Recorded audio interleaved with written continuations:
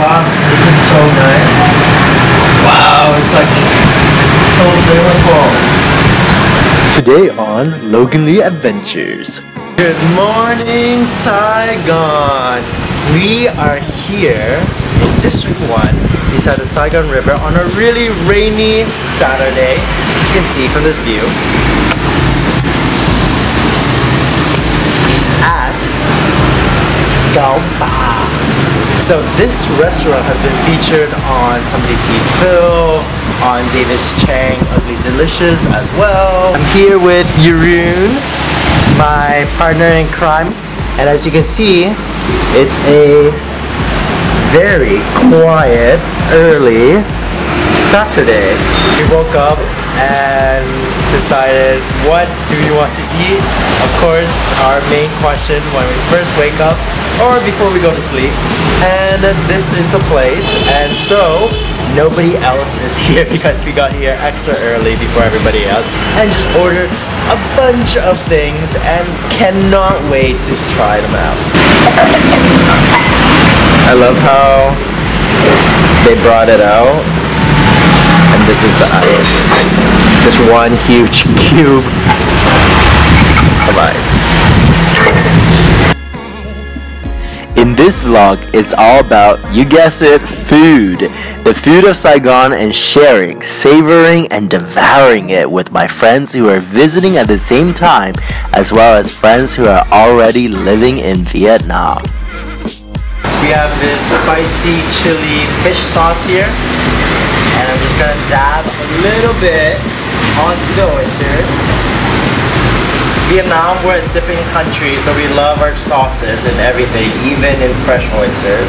Oh, look at this perfect yolky, just basically cracked quail egg. You know, quail eggs are really tiny, so you can see it's just, popped on open there. I'm gonna give this oyster a little, a little push out.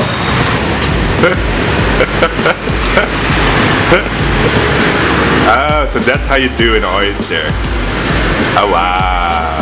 Oh my god. At first I got all the quail egg, but then I didn't swallow it.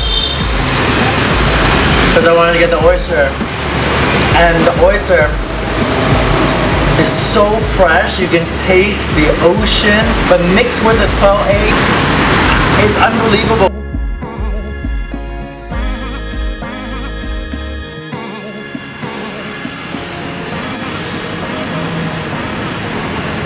Taste the rib. Oh. So it's real marinated into the corn.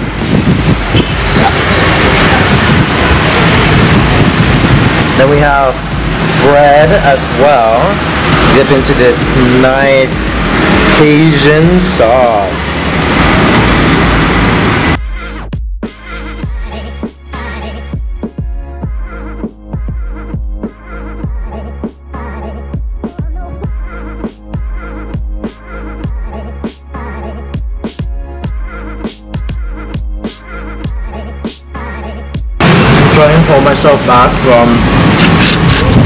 Absolutely just chugging this whole plate right now because aside from the aroma that is seducing me, the sauce itself is a nice mixture of sweet, that chili Cajun, but with a Vietnamese twist.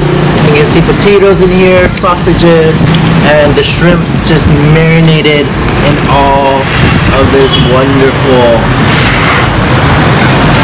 that's Jeroen slurping in the background. As he should.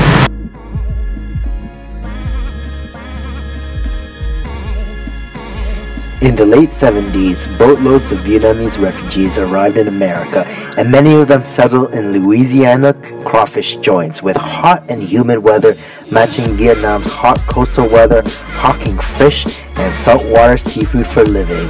Then, decades later, the Vietnamese community in the southern states expanded, setting up crawfish joints all over the country, created Viet Cajun, a new cuisine. Vietnamese chef Nikki Tran then created Vajun, a medley of Viet Cajun favorites originating from the Vietnamese community in the States. But now, having local Saigon produce and ingredients right here in the city.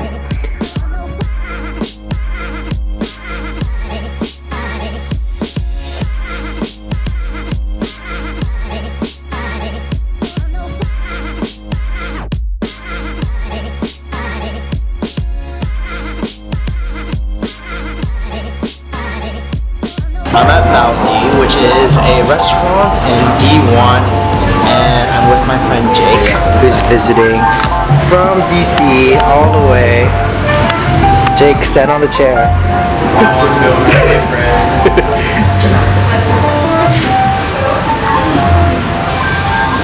Alright, I got it.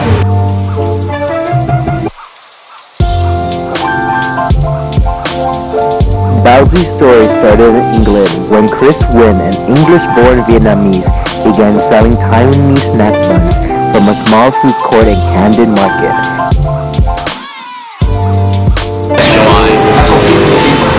This is duck confit. Yeah. What?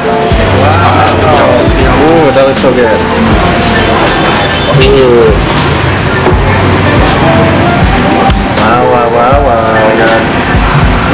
What do we have here on our magnificent table? It's so good. Um, some type of egg. Scotch. Scotch, egg. Scotch egg. Never had Scotch egg before. Uh, we got some poutine. The most interesting poutine I've ever seen. I don't see any gravy. I think the mayo is the gravy. We also have this pork belly bao. And then what did you get here? I got uh, chicken and waffles, the staple of every American meal. Uh, no meal is complete without fried chicken. In when in Vietnam. Yeah. When in anywhere. Dig into this bao now. Look at this pork belly stuffed in there, topped off with all this crispiness. Fucking good. I approve. Never had Scotch. wonder what this shell is. Looks like it's made of meat. Where? Like the shell around the egg. Looks like it's made of like Oh. onions. Baozi, this restaurant that we just had food in, is also a really, really cool sweet cocktail bar. And also they have this hot wing challenge where you eat six wings. We're really spicy. I'm afraid. And yeah, Jake is afraid. I'm concerned because there's only two people who ever tried the challenge. No, I think the two people only only two people have succeeded in the challenge. Two people only succeeded. Yeah, I guess those are people who succeeded. Well, that's terrible. So good at the other location, I just had to come back. This time I'm going back with Lena. She's coming on her way. And I'm at Baozi in the other District 1 location. And it's a different decor too. I'm really enjoying the vibe of this Baozi as well. I like how there's Kate Moss holding a bow right there. or it looks like Kate Moss. I think it's supposed to be Kate Moss. The London influence is apparent as soon as you enter Baozi's cozy dining room. The music is straight out of Brixton, and the menu with Scotch eggs and Britain's latest favorite chicken and waffles are a signature here. Look at the legs of the crab right there. Oh my god.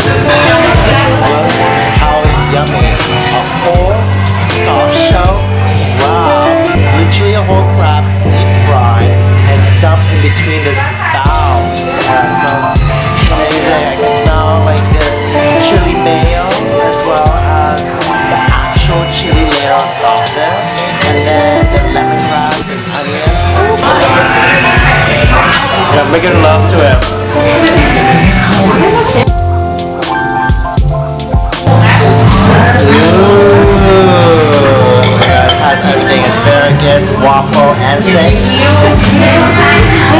sauce with the crispiness of the waffle, and how the waffle the waffle isn't uh, like sweet sweet, it's just savory, and it adds to the saltiness of the steak and the pepperiness of the asparagus. That's a great combination. It's time for me to feed Lena. Okay, here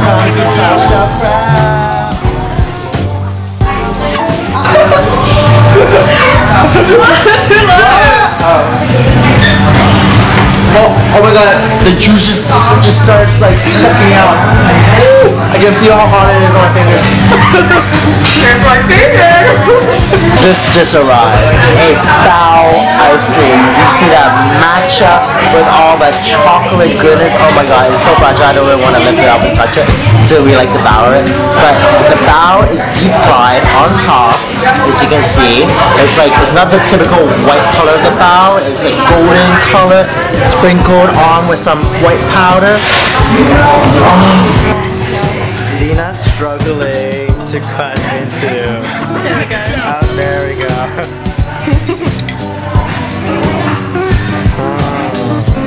Do we approve of this place?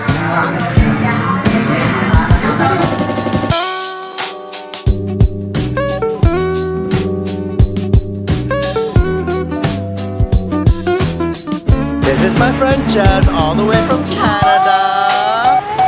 Visiting me, and I'm gonna take her on a fabulous food tour of Saigon. Okay. We used to live in Tanzania together, actually, but we're Canadian, so, so we met, and now we're here in Vietnam. Let's go.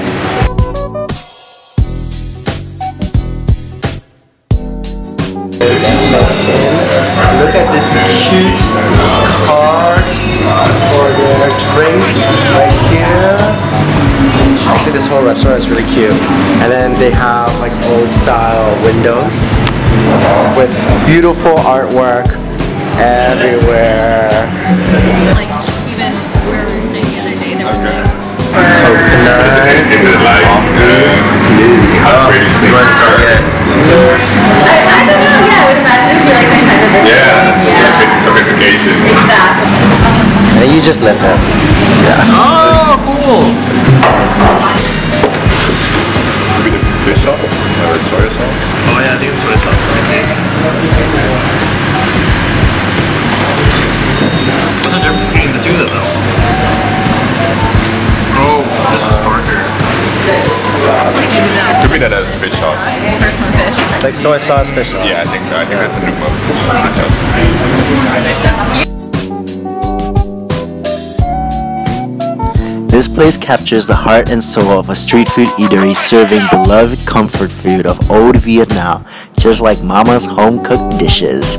It's so fun introducing Jeroen and my friends to these classic traditional dishes that I grew up with, but now being in the heart of the city.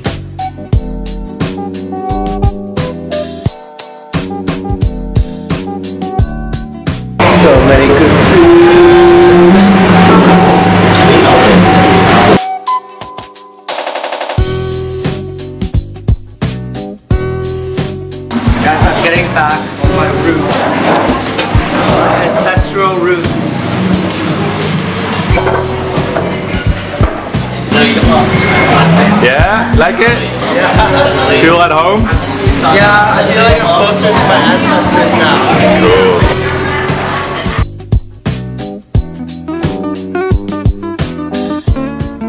We're at Barbecue Chicken, which is this Korean chicken place in District 1.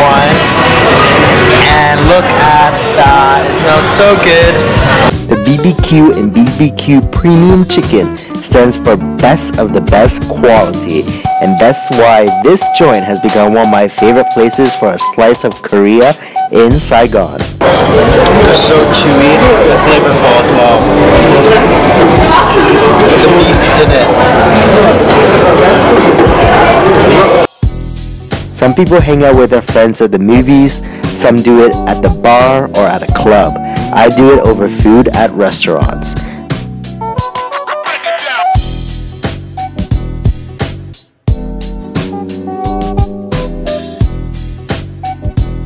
Food just keeps on coming. we thought we ordered enough, but now we have three different type of Korean barbecue chicken. It looks so good. Well, adventurers, I hope I got your mouth a little bit watery with these delicious food spots of Saigon. Give this video a like, subscribe if you haven't already, and leave me a comment to let me know which dish you want to try out the most. See you in the next video.